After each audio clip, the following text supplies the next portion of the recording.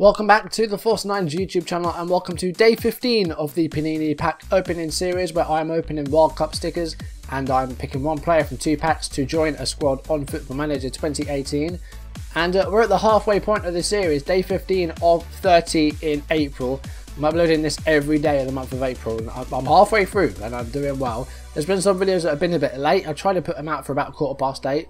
I was doing it for 2018 but they've just YouTube decided they actually want to allow you to upload videos at quarter past the hour now, which I don't I don't know why, because there's more important things to worry about than having your videos uploaded at quarter past the hour or quarter to the hour. I feel like YouTube's got a lot more problems than that.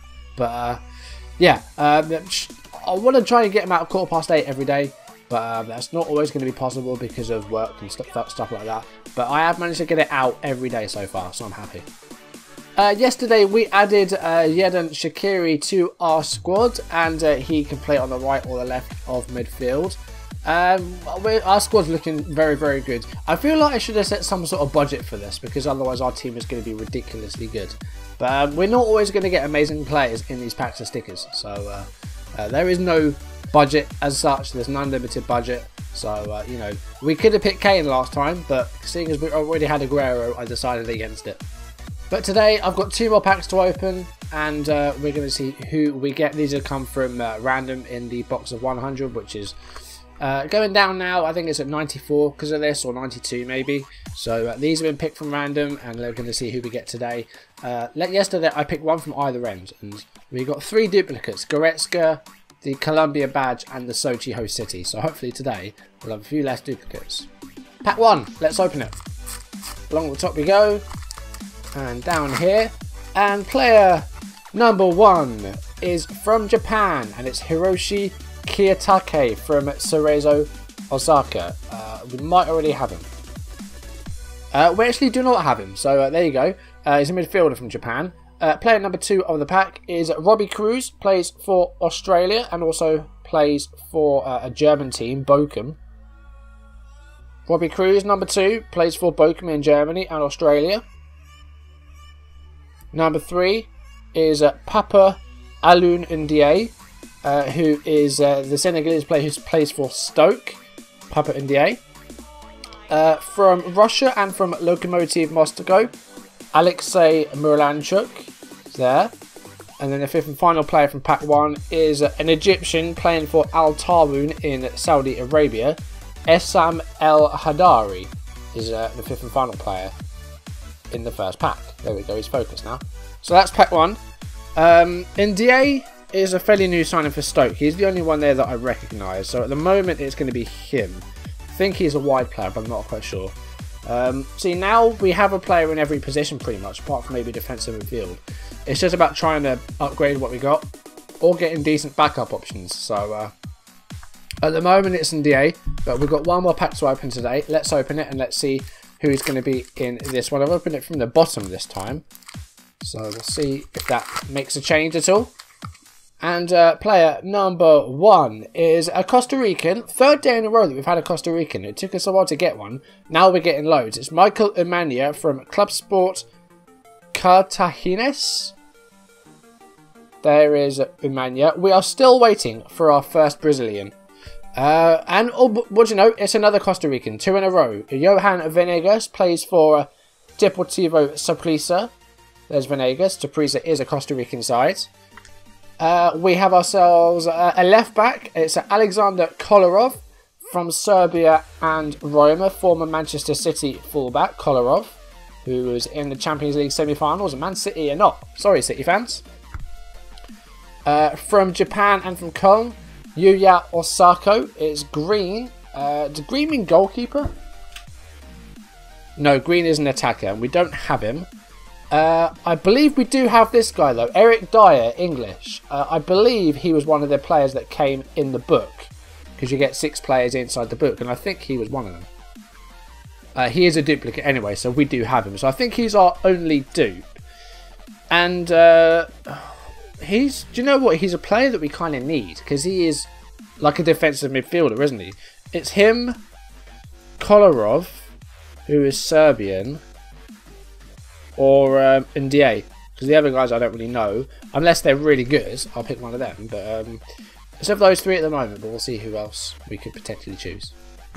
Okay, so first of all, let's start off with the Japanese players. So Yuya Osako is in the game. He's a striker, plays for Köln in Germany. Uh, he's a defensive forward, though. I don't use defensive forwards. I never have really. Don't see a use for them. Um, he's got good first touch at 16. Mentally, he's pretty decent. He's aggressive. He's got a good work rate. He's got good stamina. So he's not bad. I just don't like using defensive forwards. Uh, because Hiroshi Kiyotake plays in Japan, he's not in the game, unfortunately, so we can't pick him. Uh, Michael Umaña is one of the Costa Ricans we got.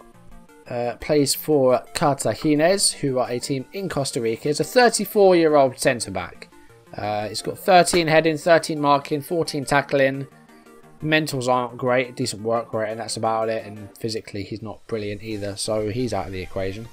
The other Costa Rican we got was Johan Venegas, so we'll have a look at him. He's a central attacking midfielder. He's also okay as a striker, but again, those attributes aren't good. There's 114 and nothing else is over 12, apart from, well, 13 stamina. So Venegas isn't very good. Um, is also a central attacking midfielder, a bit better. 16 first touch, 14 passing and technique. Uh, vision's not bad, good decision making. He's not too bad, 21 years old as well. He's been capped 10 times with 2 goals, so he looks like a decent player for the future for Russia. For our team, we're not going to go with it, but he looks pretty good. Essam El Hadari is the Egyptian goalkeeper. He's 44 years old.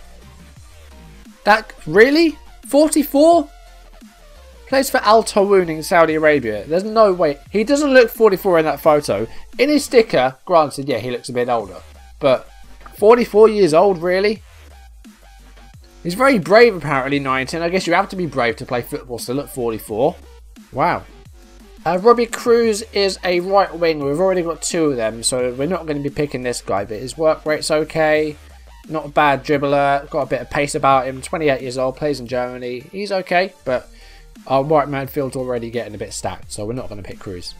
Now, it's a bit difficult to find Ndiaye, because in the game his name's Badou Ndiaye. The sticker says Papa Alioune Ndiaye. So uh, this is the same one though, because his date of birth's the same.